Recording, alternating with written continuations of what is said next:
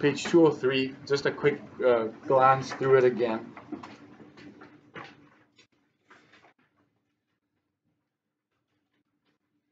I would strongly encourage you to have these prefixes associated with the number of sides. And we call the number of sides, we call them n. Okay, so on page 203 this is.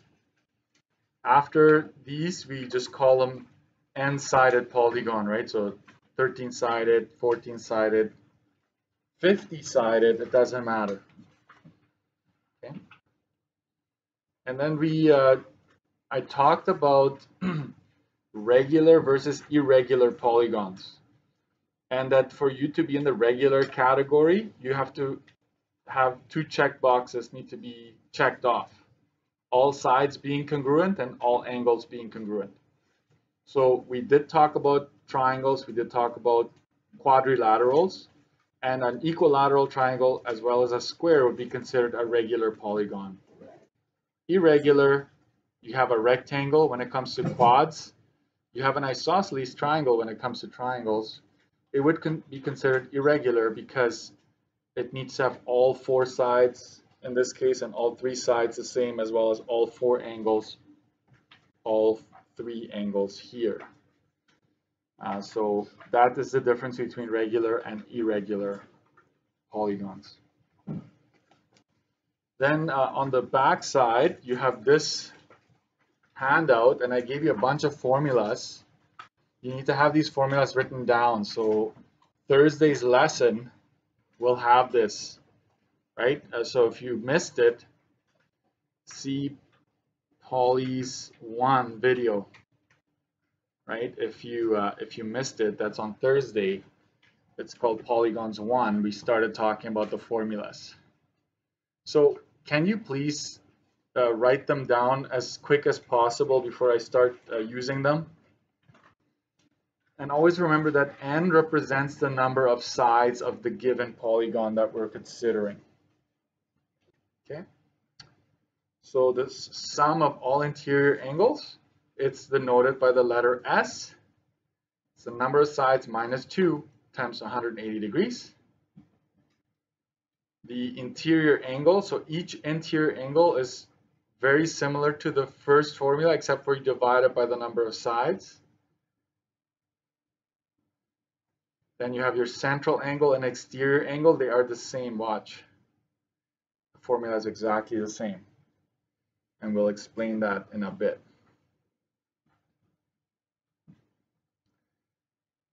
And the last one, which is the scariest one, scary looking one, the number of diagonals is n times n minus 3, so the number of sides times the number of sides minus 3 divided by 2, and you can only get a whole number there. If you get a decimal, you made a mistake. You got to go back okay? And what are diagonals? Right, polygons can have a number of diagonals and I drew them out here. We, we figured out that a pentagon, if you drew all the diagonals inside of it, which I will never make you do, I will never make you draw them. I will always make you calculate them, but you can draw them if you want. I would not suggest that because if I give you like a 20 sided polygon, you need a lot of different highlighters to draw them, to not mix them up and double count, right? So I would not suggest that. We're going to label a little bit. Um, so what I, I did not mention last time we met is that, let me zoom out a little bit here. These three here, so the ice, think of ice, right? Interior, central, and exterior. These three only work with regular, write that down, regular polygons. It, they will not work, those formulas do not work if it's an irregular polygon.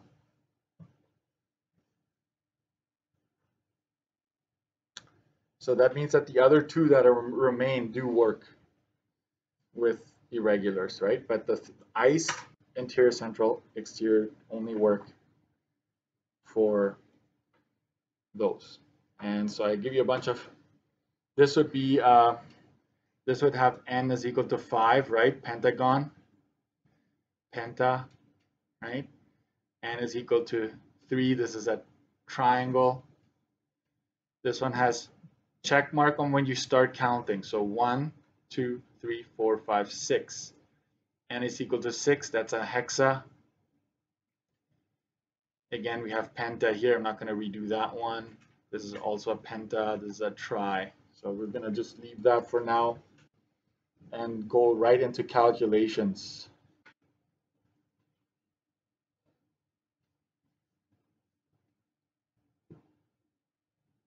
Formulas should be on your study sheet, but they're also on your formula sheet. I don't have one on me right now, but the yellow has all these formulas as well.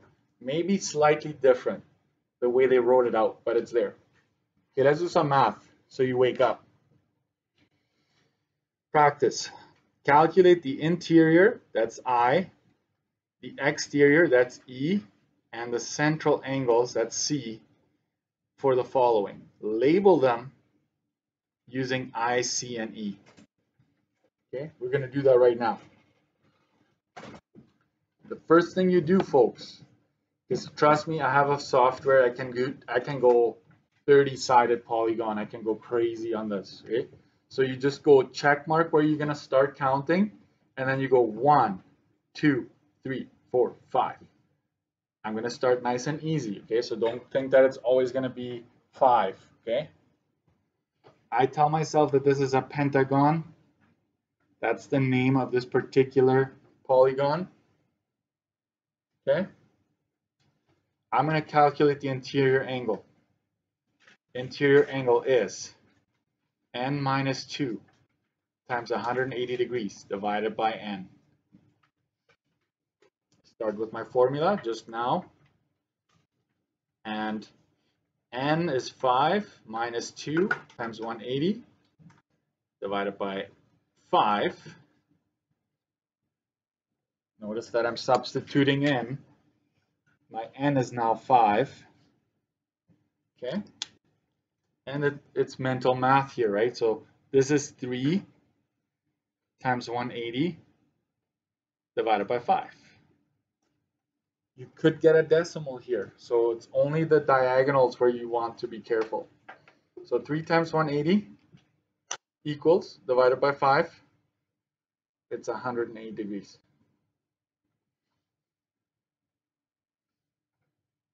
So the interior angle is 108 degrees. Done.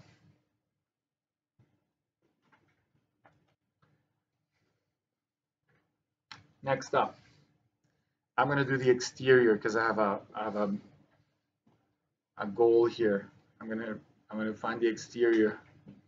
Exterior is 360 divided by n. So you just take 360 divided by 5. Exterior angle is equal to 360 divided by 5. You get 72.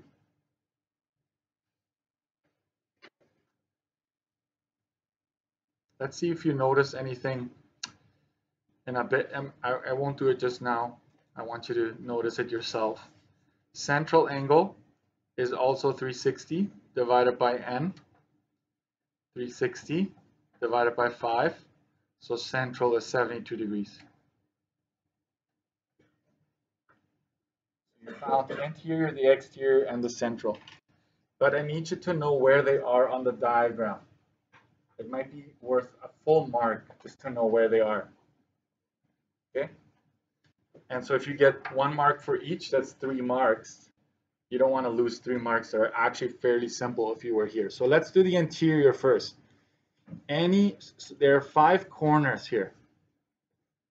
Five sides, five corners. At any corner, you can just go and make one of these. That is called, this is one interior angle right there. I'm just labeling one. Okay? Now, because I chose to label this interior angle, I'm going to do this. Get the base here, go along the base, travel along it, and when you get to the corner, you extend it a little bit. Dashed, a dashed line, just go out like that. And I'm going to use a different color here. I'm going to use red and finish that semicircle. This is called the exterior angle.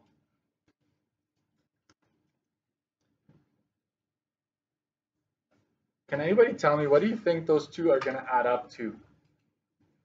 Joey? 180. Connor, were you going to say that? Why were you going to say that? Oh, I did talk about it already? Maybe I might have talked about it already, so I forget after a long weekend. But th there's a straight line, right? You see that? So I and E are 180. Watch this. Would this add up? I is here, E is there. Do these add up to 180? Yes, they do, right? So they add up to 180. They're called supplementary. Do the same here right? They add up to 180 supplementary. So just so it sticks out when you come back. What does that mean, folks? If I give you the exterior angle, you can easily find the interior because you can just subtract it from 180 or vice versa. If I give you interior, you can just, so exterior angle, I'm going to give you a cheat here. I hope you wrote that down. I'm just going to go back up to the formulas and say or exterior is going to be 180 minus the interior angle. That's a just that's just an aside. I would make sure I have that highlighted. And then we're going to go to the interior angle here or the interior angle is 180 minus the exterior angle. Right, so if you happen to know the exterior angle, just subtract that from 180 and then you get this guy. Or if you have the interior angle, subtract that from 180 and get the exterior. They are supplementary, they add up to 180. Okay, we're not done labeling yet. By the way, let's do this there are five exterior angles, folks, five interior. So let's do that. Let's let's travel along this one, extend it at this corner. That is E right there.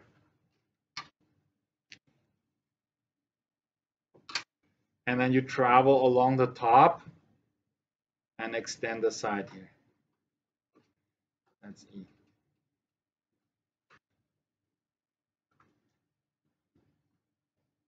This is what I see a lot. This is a common mistake. Don't copy what I'm just about to do here. Some students just do this They tell me that's the exterior angle. That's wrong. Because you have to be able to travel along the side and then extend it, okay? So don't make that mistake of just, I'm just to go a dashed line here somewhere and tell me that that's the exterior. That's wrong, okay? So then you travel, there's only one exterior per corner, okay? Regardless of how you travel, there's only one per corner. And what about the central? Think of center. So pick a cent, pick the middle, make a dot there. And now it's slicing pizza. Some of you had that last night. I had a pizza last night. It was delicious. Domino's, by the way. I go from the center to this corner and then I go from the center to the next one. So you can go this way or you can go that way. It doesn't matter. I'm going to go like this. And this, the angle resulting from those two sides you just created is what we call the central angle.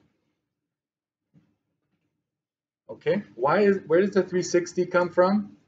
360 is a full circle, right? 360 is a full circle. At this point, if you were to go all the way around, it would be 360, right? So we split the 360 amongst the five sides it has. So you're basically splitting 360 degrees into one fifth, right? So this is your central angle right here. There are five, but I'm not going to label them all. Okay, you just need to label one, and that's fine. Okay, let's keep going. Are you having fun? I hope you have fun. Uh, it gets trickier. So let's uh, jump. I just want you to do one extra question on your own here. Can you do ice for this one?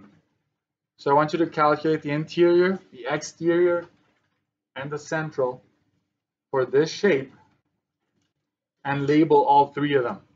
Just one. Just label one exterior, one interior, and one central. See if you can do that. You need to figure out how many sides it has. So flip to the back page, put a check mark on one side, and start counting from that check mark. Don't double count, okay? So see if you can do that. Something like this is definitely going to be on a test. Definitely. I'm not going to tell you how many sides the shape will have, but try this right now. So figure out interior, exterior, and central angle for the shape starting now. uh, I know I know space is terrible, so I'm gonna I'm gonna have to add, but I'm gonna steal a little bit of room from this this one maybe, or not. So this has nine sides. That is a nonagon, right? Nonagon, if you want to write that down. Um, and so for the interior angle, it's calling for n minus 2, so 9 minus 2 times 180 divided by 9.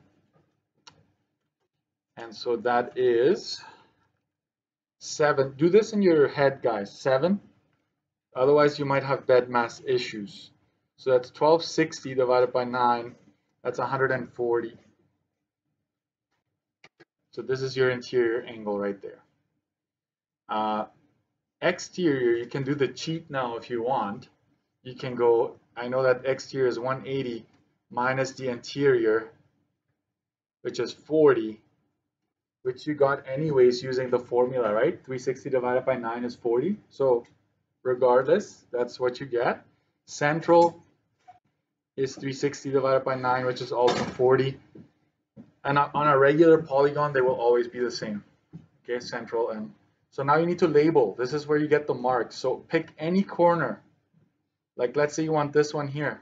Put an eye there. Okay, that's your eye. Any one of those corners, you can do them all if you want, but just one is necessary. Exterior, you I, I like to have them side by side. You don't have to. But let's say you're at this corner. Which one, Mr. Doerksen? Was it this one or was it this one? It doesn't matter, but you can only have one. So if you want to travel this way, then that's your exterior angle there. If you if you travel this way, then your dashed line would have gone here like that, and that's still fine, but you can only have one per corner, okay? And you would have nine interior, nine exterior, all that. Central, find the middle, go to one corner, and then you got to go to the one right next to it. So this one or that one. You cannot go anywhere else. So that's your C there. Okay. The more sides it has, the smaller the central angle will become, right? Because they're splitting the 360 among more sides, right? So if you have a 120 sided polygon, oh my goodness, right? Bonus question, draw a 120 sided polygon. Can't do it, right? It's too hard by hand but uh, it could happen, right? I mean, it could be done, but not by hand. But it would give you a really, really small central angle. Um, if you want to do this one, this is a hexagon, one, two, three, Six, yeah, there's a hexagon. The interior is 120, I can tell you that. The exterior, I'm just going to do the cheat, that has to be 60. Central will also be 60. So if you want to try that one, you can go for it.